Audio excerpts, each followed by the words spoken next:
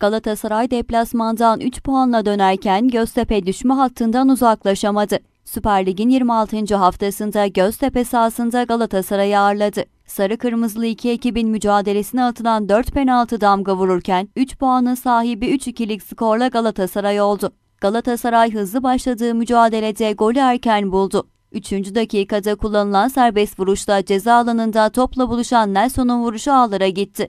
Göztepe beraberlik için aradığı golü ilk yarının uzatma dakikalarında kaydetti. Gelişen atakta Galatasaraylı oyuncunun topa elle müdahalesine hakem penaltı dedi. Topun başına geçen Endia'ya beraberliği sağladı. İkinci yarıda gol perdesi penaltıyla tekrar açıldı. Göztepe'nin atağında topa elle müdahale edildiğini tespit eden hakem beyaz noktayı gösterdi. Ev sahibi ekipte Endia'ya penaltıyı gole çeviren isim oldu. 85. dakikada bu kez Galatasaray'ın hata penaltıyla sonuçlandı. VAR kontrolü sonrası Galatasaray'da penaltıyı kullanan Gomis skoru 2-2'ye getirdi.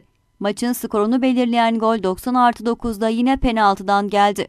Galatasaray'ın atağında Göztepe'li Berkan'ın yaptığı hareketi faal olarak değerlendiren hakem VAR kontrolüyle bir kez daha penaltı noktasını işaret etti. Topun başına geçen Gomis Meşin yuvarlığı ağlarla buluşturarak skoru 3-2'ye taşıdı ve takımına 3 puanı getiren isim oldu.